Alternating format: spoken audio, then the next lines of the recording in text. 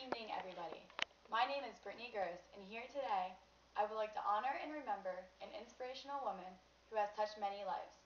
This remarkable individual has overcome so many obstacles in her life that enable her to achieve great success. This courageous woman is Helen Keller. She is an inspiration to many and is known as the phenomenon. Helen began her struggles at an early age. At just 19 months old, she came down with a fever, which caused her to lose her ability to speak, hear, and see. These are three vital senses. I look up to Helen due to her enormous strength to strive forward with her life even though she had a disability. Growing up, she had a very difficult time communicating, which caused her to become very depressed and useless. She met a lady named Anne Sullivan around age 8 who changed her life forever.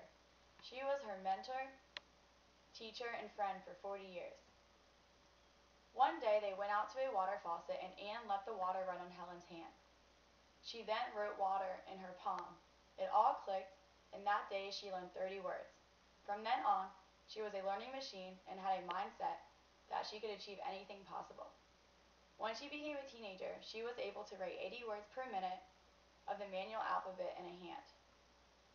The different ways Helen was taught to communicate was through the manual alphabet, Braille, she was able to touch faces and feel vibrations of words, and she had a very good sense of smell.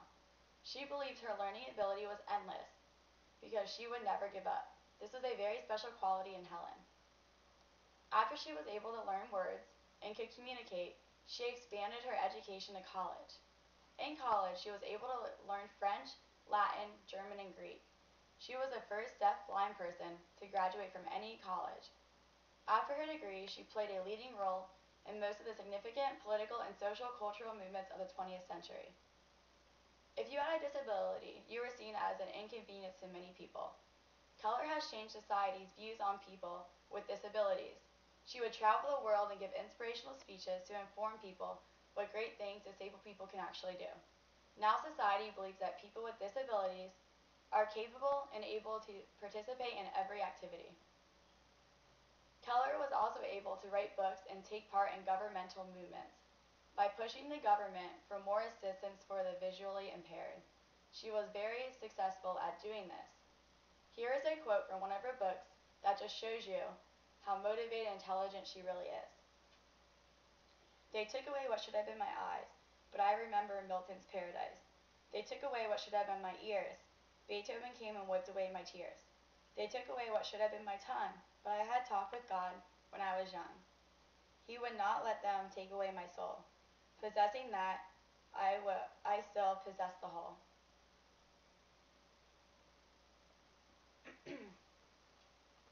Even though she won many awards such as the Presidential Award of Freedom, Brazil's Award of the Southern Cross, and Philippines Golden Heart, and she was also named one of the most important people in the 20th century by Life magazine.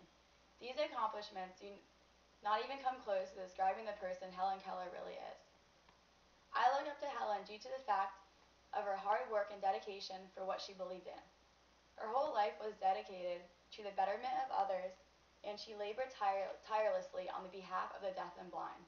With the help of Anne Sullivan, through her writings, lectures, and the way she lived her life, she has shown millions of people that disability is not the end of the world. After Keller passed away at age 87, People will continue to learn about her life and be touched with her motivating personality. Her resting place is a popular attraction, and the braille dots on the plaque have already had to be replaced twice because people go there and visit it so much. This just shows you how important and how much people look up to her and how much she is loved. Helen Keller has one of the most inspiring stories I've ever heard due to the obstacles she had to overcome and her ability to change so many lives for the good. Her stories and life experiences has really shaped what our world is today. She will always be remembered as the First Lady of Courage, and Helen Keller will continue to inspire me throughout my life. Thank you very much.